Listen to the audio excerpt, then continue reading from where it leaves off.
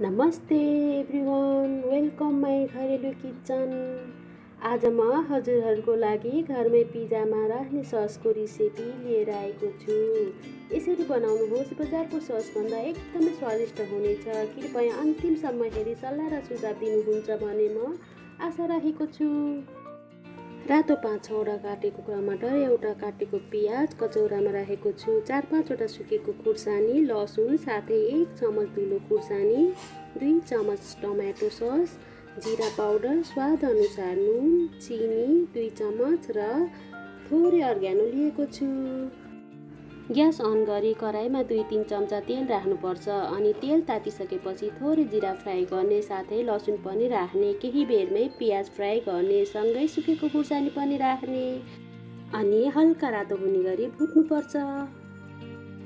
केही बेर भुटेपछि काटेर राखेको टमाटर एड गर्ने त्यसपछि केही समय अर्थात् दुई तिन मिनट मजाले भुट्नुपर्छ। यत्तिको भएपछि स्वाद अनुसार नुन राखी। टमाटर गल्नको लागि एकचोटि राम्रोसँग चलाउनु पर्छ।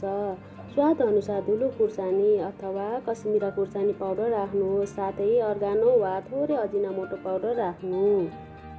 त्यसपछि दुई तिन मिनट चलाएर भुटेर बनाएको जिरा पाउडर वा कुनै पनि मसला राख्नुहोस् र राम्रोसँग चलाउनुहोस्। ससलाई मेन्टेन गर्नको लागि दुई चम्मच चिनी राखी मिक्स गरी छोपी पकाउने। एक दुई मिनटपछि दुई चम्चा टमेटो सस राख्ने र दस सेकेन्ड चलाएर ग्यास अफ गर्ने।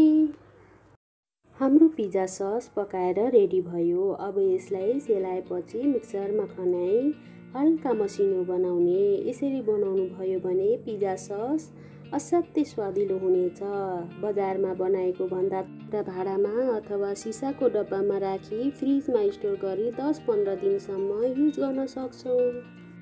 लाइक कमेन्ट र सेयर गरिदिनु है।